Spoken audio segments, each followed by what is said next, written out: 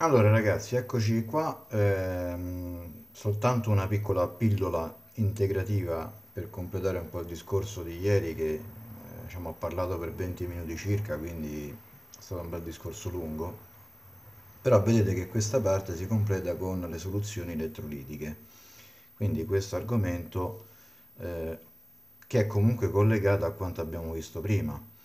Intanto buttiamo giù subito un paio di definizioni, chiaramente.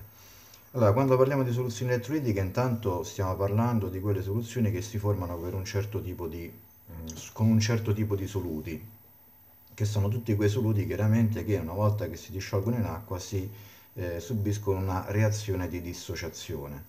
Questa reazione di dissociazione, come abbiamo visto in precedenza, può essere di tipo ionico oppure può essere una dissociazione molecolare però comunque sia il risultato di questa reazione è che nell'acqua si liberano praticamente degli ioni, cioè delle particelle che hanno una carica elettrica. E allora, per riconoscere se una soluzione è ionica, chiaramente ce ne accorgiamo perché questa soluzione è in grado di farsi attraversare da una corrente elettrica e questa già è una definizione in pratica. Tutte quelle sostanze che messe in soluzione acquosa conducono poi corrente o permettono la conduzione di corrente elettrica, vengono chiamate elettroliti. Mm? Al singolare chiaramente si dice elettrolita. Eh, dire elettrolito o elettroli, elettrolite eh, non è corretto. Allora, rivediamo un po' quindi quali sono queste sostanze elettrolitiche. Eh, appunto le sostanze intanto che mette qui in questione sono eh, i soluti chiaramente no? E allora vediamo un po'. Un elettrolita può essere, diciamo, eh, caratterizzato da due aspetti diversi, infatti li ho tenuti separati. Gli elettroliti possono essere ionici o covalenti. Un elettrolita ionico vuol dire praticamente che il soluto di partenza era una sostanza solida, comunque sia, o liquida, ma eh, il cui reticolo cristallino, quindi la sua struttura molecolare in pratica, era formata da ioni. Se vi ricordate, eh, per esempio, il cloruro di sodio, il nostro sale da cucina, è formato da ioni sodio positivi e ioni cloro negativi, legati fra di loro appunto a formare questo reticolo cristallino. Quindi un elettrolita può essere ionico, ma può essere anche covalente. Abbiamo visto in precedenza il caso dell'HCl, cioè dell'acido cloridrico.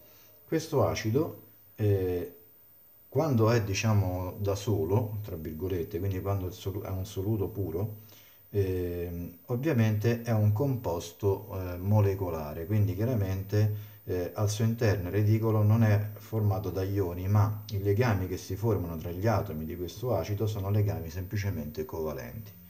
Solo che quando viene messo in soluzione questi, eh, questi atomi si separano fra di loro grazie all'azione delle molecole di acqua, come vi ho detto, per formare appunto gli ioni H e ioni Cl-.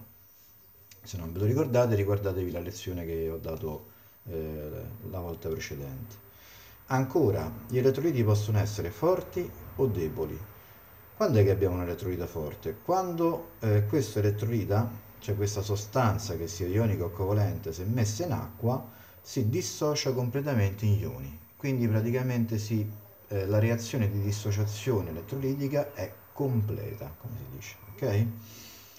È un elettrolita debole invece quando questa dissociazione non avviene in modo completo, ma rimane diciamo in soluzione ancora una parte eh, di sostanze reagenti, cioè quindi delle sostanze iniziali in pratica.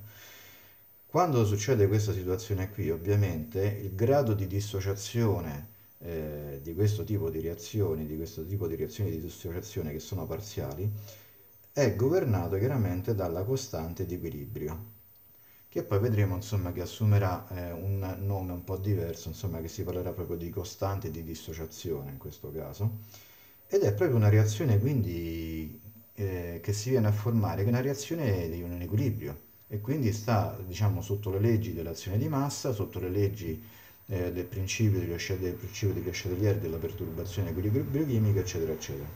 Perché? Perché fondamentalmente sono delle reazioni reversibili.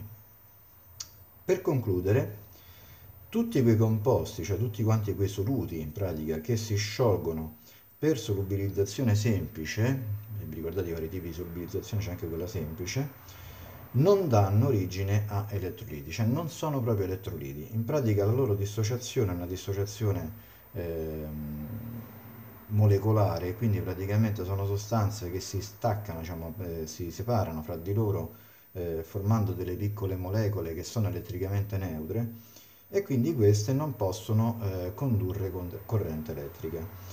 Eh, è il caso per esempio dello zucchero quando si scioglie in acqua, dell'etanolo, che vi ricordo è l'alcol etilico, quindi quello che si utilizza per le bevande alcoliche, l'acetone, ma c'è anche alcuni gas, ci sono l'ossigeno, la CO2, per esempio il CO2 eh, in acqua chiaramente eh, non dà origine a soluzione elettrolitica, tranne quando poi non reagisce con la stessa molecola di acqua e quindi forma acido carbonico. Allora in quel caso l'acido carbonico è invece una sostanza eh, elettrolita.